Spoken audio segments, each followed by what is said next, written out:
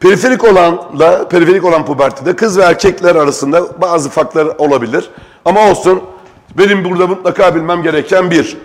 Over tümörü kızlarda fonksiyonel, hormon salgılamış birazcık erken puberteye sebep olabilir. E, testis tümörü de erkekteki karşılığı. Granulozatekoje tümör, bunun gibi filan işte.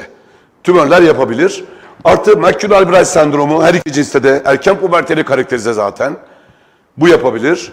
Adrenokortikol tümörler hormon salgılayıp işte ilaç kullanımı, östrojen, androjen gibi ilaçların kullanımları, konjeti adrenal hiperplaziler her iki cinste de yapabilir ve hipotiroid her iki cinste de erken puberte yapabilir. Buraya dikkat edin arkadaşlar. Buradan bir ok çıkartalım hipotiroidden. İki taraftan da karşınıza çıkarsa şaşırmayın. Hipotiroidi hem gecikmiş puberte yapabilir hem de erken puberte yapabilir. İkisini de yapabiliyor hipotiroidi. Gecikmişi tahmin edersiniz. Her şey yavaşlamış, motivasyon da yavaşlamış, enzimler de yavaşlamış. Ama erkeni biraz zorlanırsınız. Erkenin sebebi ne? Hemen buradan bir ok çıkartalım. Erkenin sebebini yazalım. Çok yüksek TSH diyelim. Tabii yüksek TSH olan vakalar bunlar. Çok yüksek TSH hipotiroidide FSH reseptörlerini kandırır.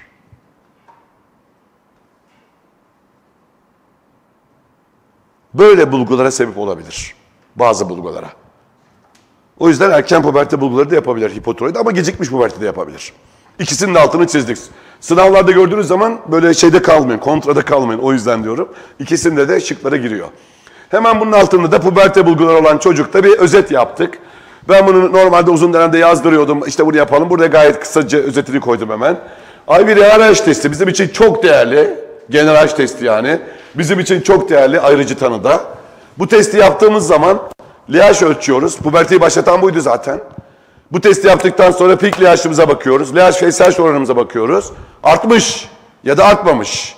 Eğer arttıysa bu gerçek bir erken pubertedir. Aks üzerinden giden santral bir erken pubertedir. Ama bu artmadıysa bunlar bu yalancı bir erken pubertedir. Periferik, over tümörü, testis tümörü gibi olan bir pubertedir. Yalancı yani bu. O zaman bunların ikisi boyadık bir. İkincisi, yani burada gonadal aktivite vardır generasyon etkisiyle. Burada öyle bir aktivite başlamamıştır. Burada sadece biraz tüylenme, kıllanma falan vardır o kadar. Artı, sekonder seks karakterleri hepsi burada gelişir. Normalin erkeni bu. Pulsatil salınım burada vardır, normalin erkeni bu. Pubertal gelişim izoseksüeldir, normalin erkeni bu. Halbuki burada heteroseksüel de olabilir, izoseksüel. Hormona bağlı, ilaca bağlı. Kızın ne kullandığına bağlı, kızdaki hangi tümör olduğuna bağlı, bunun gibi. İki cins yönünde de geliştirebilir çocuğu. Hangi hormon salınıyorsa. Burayı da boyadık, burayı da boyadık. Artı erişkin boyu kısa kalır, evet. Burada çok önemli bir komplikasyon. Ve şöyle de bir ufak bir kelimeyle bitirelim. Hemen yan tarafa diyorum ki buraya gerçek erken puberteye. Komplet olur. Komplet. Ne olacaksa o her şey olur. Ne bekliyorsanız her şey olur. O zaman fertilite kazanır çocuk. Çocuk fertil hale gelir ama yaşı küçük. Ama bu, bu inkomplet olur. Buraya da diyoruz ki bu tam olmaz. Bu fertilite falan kazandırmaz. Yani bir çocukta bir tümör var, hormon salgıladı diye fertilite nasıl kazanır? Ya da bir androjen kullandı diye, bir östrojen kullandı diye. Bu inkomplet olur. Hemen bu farkı da gördük. Artı burada çok sorulan GNRH analogları var tabi. GNRH yapıyordu, pulsatilte yapıyordu. O pulsatilitenin erken başlaması sebep oluyordu. O zaman burada depo verip pulsatiliteyi kırıyoruz. Devamlı kanda bir düzey sağlayıp hipofizi kandırıyoruz. O da FSH yaşı azaltıyor. Hipofiz diyor ki eski zamanlara geri döndük. O zaman da pulsatil değildi. Ben salgılamıyordum bunu FSH yaşı. Yine o zamanlara döndük. Yine pulsatilite yok. Ben yine azaltırım diyor FSH yaşı. Çünkü başlatan faktör pulsatilite. Biz pulsatiliteyi kırarsak ilaçla olaylar geri dönüyor. O zaman buraya boyadık hemen yıldızladık. GNRH analogların isimlerini bilin. Burada da etiyolojiye yönelik tedavi, salgılanan hormona yönelik tedavi, tümör varsa tümörü çıkar, ilaç varsa ilacı kes, anti-androjen, anti-östrojen gibi ilaçlar var. Etiyolojiye yönelik tedavi burası. Bitirmiş olduk böylece iki pubertenin farklarını, gerçek ve yalancı olanı, periferik olanı yani. Bu da zor bir soru aslında. Buna ne dersiniz? Bir bakın bakalım. Her iki tarafta da erken puberti yapabiliyordu.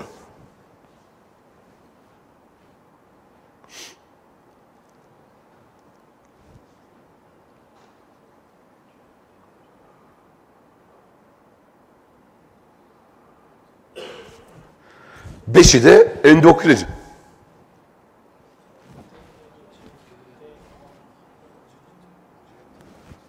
Hiperparatiroidi Hipotiroidi mi? Neden hipotiroidi?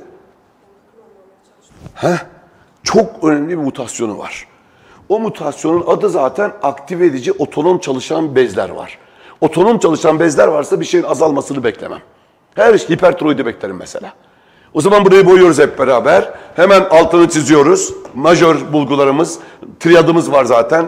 Kafa lekeleri, erken puberte ve kemiklerdeki fibroz displazi, çıkıntılar.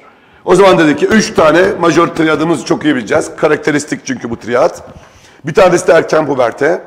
Artı beraberinde bakın her şeyin fazlası. Kortizolün fazlası, tiroidin fazlası, growth hormonun fazlası, prolaktinin fazlası, paratormonun fazlası. Renal fosfatörü yapan o. Her şeyin fazlası var. Soru bir. Yan tarafa yazıyoruz. Bir şeyin azını koyduysa olmaz. Adison olmaz. Adren yetmezlik. Hipotiroidi olmaz. Tiroid hormon eksikliği. Bu soruda çıkmış. Endokrin bezler otonom çalışıyor. Ama çok tuzak bir soru daha söyleyeyim size. Onu da belirtelim. Her şeyin fazlası, her şey- hormonun fazlası dedik ama ADH'in fazlası da olmaz. Çünkü ADH endokrin bezden salınan bir hormon değil. O MSS'de üretilen bir hormon. Arka hipofizde depolanıyor sadece. O zaman diyoruz ki uygunsa ADH salınımı da beklenmez. Fazla olmasına rağmen. Bunlar hep soruldu. Tekrar tekrar ya Yandal'da soruldu ya bizde soruldu. TUS'ta soruldu. Burayı da boyadık hemen. McCune-Albright sendromu çok sorulan, dahilicilerin de sorduğu e, bir şey. Dahiliciler tabi growth hormon hipersekresyonunu akromegali ile falan sorarlar. Yani pediatride olursa bu gigantizm yapar, erişkinde yaparsa bunu akromegali yapar tabii ki. Epivizler kapandığı için. O da akromegali ile sorar dahiliciler.